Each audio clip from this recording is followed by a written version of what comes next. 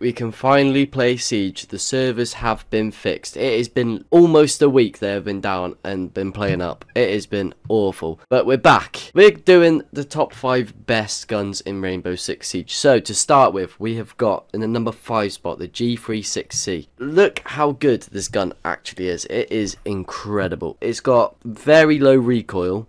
You can stick a grip on it if you can't control it that well, but for me, I prefer to use the angled foregrip. It, if you look at the stats, it's got 38 damage, 780 fire rate, and 50 mobility and 30 bullets in a mag. So this gun is literally so good. It is literally like the perfect assault rifle that you can use in Rainbow Six Siege. And you're able to use this on Ash and Diana, which are both incredibly powerful operators in Rainbow Six Siege. With this gun, it also comes with the 1.5 scope, which is nuts. The 1.5 is the best scope you can use in Siege. I don't know whether Siege is going to do something about the 1.5 scope or not. Some people are saying they're going to add it to every operator or take it away. I have no clue, but the 1.5 is just perfect. So these are the attachments that I would run.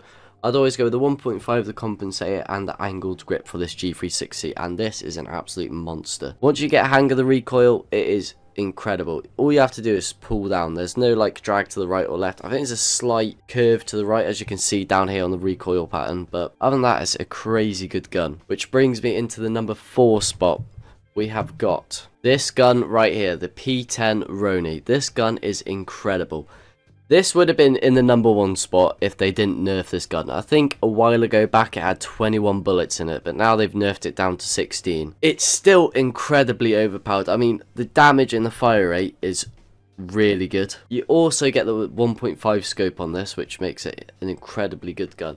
Overall, I think Mozzie is just a very overpowered operator. If you look at this recoil pattern as well, it's got hardly any recoil, so as long as you can learn the recoil pattern, this gun is incredibly good. But these are the attachments that I run. It might be different, you might have a different preference on it, but I always go 1.5 extended barrel vertical grip. This gun is so good. I mean, look at it. It's a beauty, baby. Oh, yes. Oh, where am I going now? For the number three spot, we have got Smoke and it's M590A1. I think that's how you say it, but I just call it the M59. This shotgun is incredibly good. If you look at the stats of this, it's literally got 48 damage. That's not a bullet, my friend. That is a pellet. One of the pellets is 48 damage. So if you shoot someone point blank with this, that is 200 damage. Do you know how incredibly overpowered the shotgun is? It is crazy. The range on it is really good as well for a shotgun. Like, you can shoot people from miles away. It's got seven shells, so, I mean, that's plenty for a shotgun, to be honest with you. You don't need more than that, especially with the damage of this thing. You're going to be clearing people out. I mean, the max shots you'll need is two from a distance, probably. Other than that, if you're shooting people from range of a shotgun, I don't know what you're doing. You need to change your playstyle, okay? Obviously, there's no recoil, really. It's a shotgun. It's a pump, so you don't need to worry about that. But yeah, the, the, attachments I always run for this. I like the red dot A on shotguns. I don't know why, but I just like it. It's just like a small little sight and it doesn't take up too much space. So that's the one I like to go for. And I always run a laser. I just feel that there's more damage when I use a laser. I don't know why. I just think a laser on shotgun does bits. So I always go for the laser. Oh, this camo as well. Oh, I packed this camo. I mean, look at it. Look how sick it is. I got so lucky. I don't even know how I got it, to be honest. I literally just whacked open a pack and this bad boy slipped out. Look at that. Beautiful. I think you got a charm on here. What charm should I stick on? I'll stick a baguette on. Easily the best shotgun, but yeah, I'd put it in the number three place just because there are other guns that are better than this, as you'll see later on in the video. If you are a solo player like myself, Smoke is a really good operator to use, just for his gun and his ability. It is incredible. The number two spot, I have got Wardens MPX. I'll say Valkyries as well, but preferably Wardens just because it has the 1.5 scope. This gun is so good. The recoil is so minimal. It's got no recoil whatsoever. It's got good damage, a good fire rate, and it's got 30 bullets in a mag. So this gun, I'm sure everybody's used it. It's like the most popular gun there is. It is incredibly overpowered. But these are the attachments that I run. You I mean, You could go angled foregrip. Basically, angled foregrip is how fast you ADS. So whether you want to take the recoil control or how fast you aim down your sights. For me, I prefer the vertical grip on the MPX. I use vertical grip 1.5 and weirdly, I think a suppressor goes well with this gun. I either go suppressor or the compensator for this. Both are equally as good, it's just the suppressor I just for some reason. I don't know why. I like the suppressor, right? Leave me alone. And I never never run a laser. If you're playing with a laser sight on that isn't a shotgun, sort your head out because there's no need for it whatsoever, okay? What camos have I actually got for this? I really want Black Ice for this MPX. Can you get Black Ice for the MPX? Because I have never seen it before. But yeah, bone chills, incredible camo. Look Look at these. I bet a lot of you don't even remember this camo. This is an old camo. This used to be a uh, epic camo, this when it came out.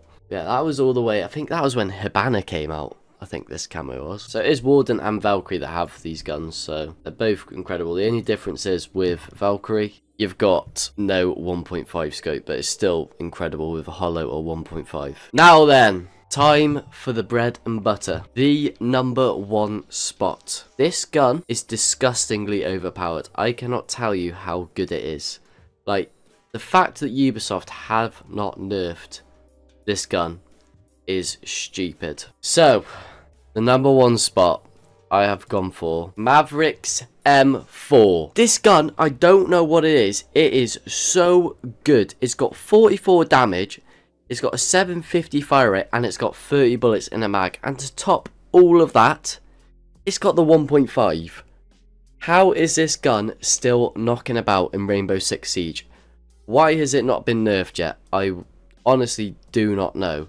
This gun, look how good it is. It is incredibly overpowered. Like, if you are running this, you are an elite member of Rainbow Six Siege. And if you know about the M4, you know the rules, alright? Yeah, for this gun, I always go 1.5 compensator and vertical grip. I wouldn't go angled grip for this because, I mean, it has got a bit of recoil, slight bit of recoil it's very easy to control with this gun as it just goes straight up so you just got to pull down on your stick or on your mouse whatever you're playing on console or PC but yeah so they're the top five guns that I would list in Rainbow Six Siege. You might have a different preference, who knows, but that's my preference and I stick by that. This M4 is incredibly overpowered for Rainbow Six Siege. It is so good. Let me know in the comments whether you've got a different preference on what guns you like, what you'd swap around, what you'd replace them with.